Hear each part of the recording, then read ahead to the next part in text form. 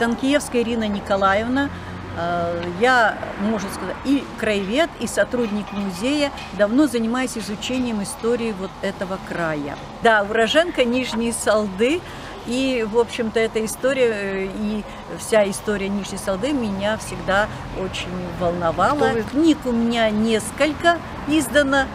А, книга «Нижняя Салда», в которой как раз я и Э, сделала тогда предположение, а в дальнейшем, э, занимаясь изучением э, различных материалов и сопоставляя вот эти вот факты, я пришла к тому, что Павел Петрович Бажов все-таки был здесь. Не просто проезжал мимо, а здесь хотя бы несколько дней находился, и я думаю, что на этой конференции он тоже был, потому что без эм, СМИ, без, значит, вот э, участия в такой вот конференции не могло быть. Здание это было построено в 1914 году. Это было городское четырехклассное училище, достаточно большое, обширное, одно из крупнейших таких вот зданий. И полковая конференция, конечно же, прошла вот в этом большом здании. Сейчас это здание мэрии города Нижняя Салда. Павел Петрович Бажов воевал в составе первой Уральской дивизии. И вот э, в конце сентября Э, сюда, на Урал, э, в Нижнюю Салду, вот эта дивизия проезжала, но она делала остановки. Два полка этой дивизии 20 и 22 сентября находились здесь, в Нижней Салде. Они очень устали, требовались эти полки для подкрепления боев под Нижним Тагилом но к этим полкам примкнул, примкнул еще Салдинский отряд под командованием Ивана Андреевича Ефимова. Около 200 человек нижнесалдинцев э, вошли в состав этих двух полков, первого Камышловского и четвертого Уральского полка, и э, участвовали в боях под Нижним Тагилом. Ну, а в дальнейшем э, сделали целесообразным оставить эти полки под командованием Овчинникова.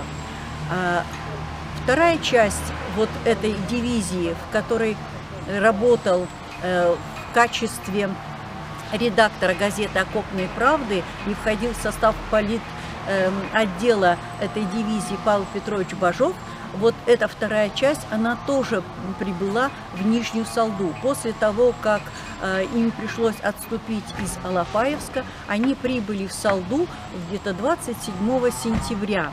И вот вспоминает э, Голиков, будущий маршал Советского Союза, о том, что они уже несколько дней находятся в Нижней Салде, помылись в бане, отдохнули, за, пополнили продовольствие, и хотелось бы еще вот в этом городке побыть, но придется нам идти на Тагил.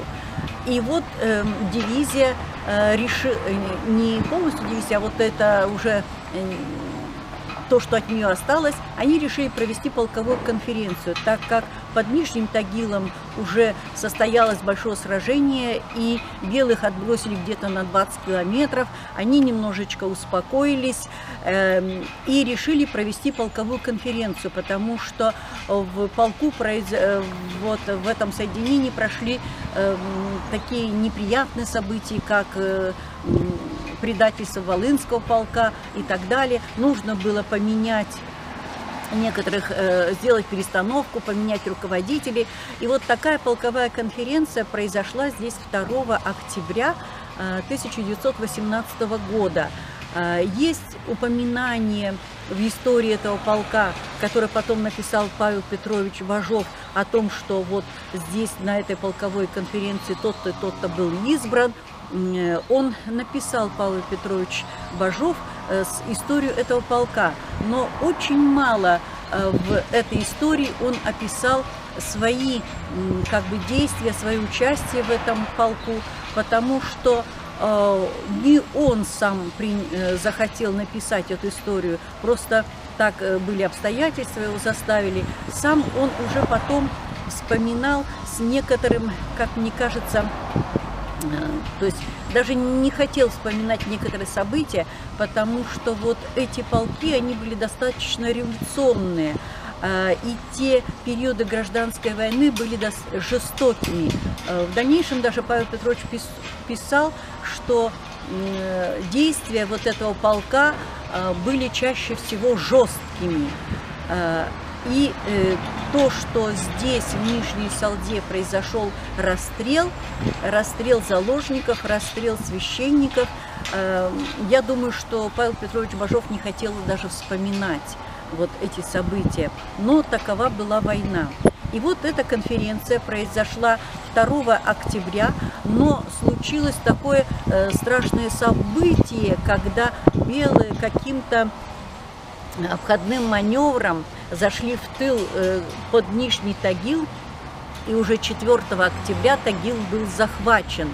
Э, скорее всего, результаты этой полковой конференции и, как, и политодел мог э, уехать до того, как э, перекрыта была ветка в Нижний Тагил. Но основное соединение, то есть все два полка остались в Нижней Салде.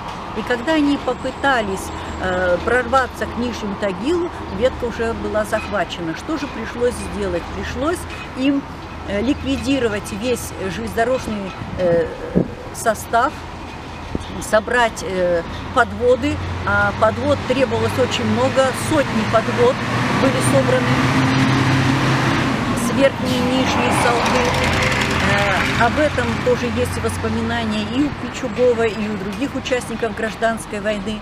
И вот с, э, переложив то, что хранилось э, на, в железнодорожном составе, и значит, боеприпасы, и пушки, и продовольствие, разгрузив на подводы, они двинулись по старой дороге в сторону деревни Пряничникова. Конечно же, есть предположение, кто-то думает, что от деревни Салки напрямую до Ясвы они двинулись. Но в то время деревня Салка, не деревня, а разъезд Салка железнодорожный был очень маленький, около шести домов. И собрать такое количество подвод они, конечно же, не могли и разгрузиться там.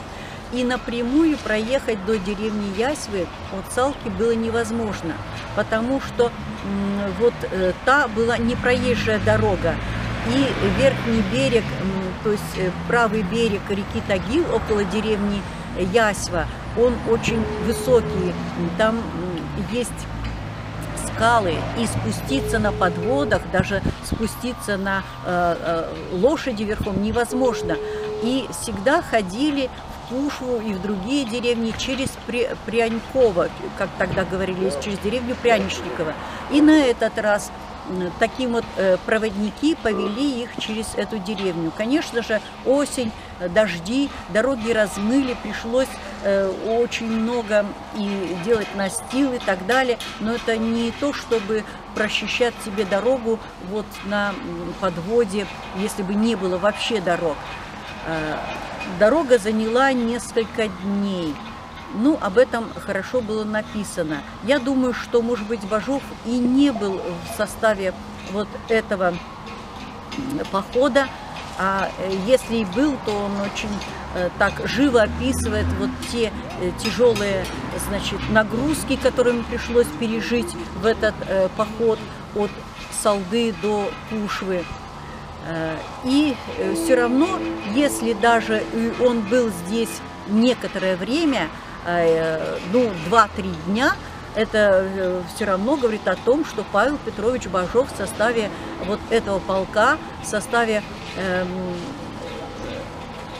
средства, да, средства массовой информации, когда он был редактором газеты «Окопная правда», которая вышла здесь 2 октября. Здесь не написано, что это э, какой город издание. Здесь это не написано. Но здесь, Дата. да, э, описано, что она с первой Уральской дивизии. То есть, а штаб первой Уральской дивизии находился здесь, в Салде. Ну и в дальнейшем, когда разбирали вот эти события по поводу сдачи Нижнего Тагила э, есть документы, которые говорят о том, что вот, мол, Васильев со своими, значит, этим находился в Салде и предавался отдыху в то время, как нужно было укрепить позиции соединения между, значит, Овчинниковым и вот Васильевым. То есть, что они этого не сделали. То есть в документах было указано, что штаб находился здесь, в Салде, вот до того, как значит, отрезали Тагил от э, общих э, войсковых частей.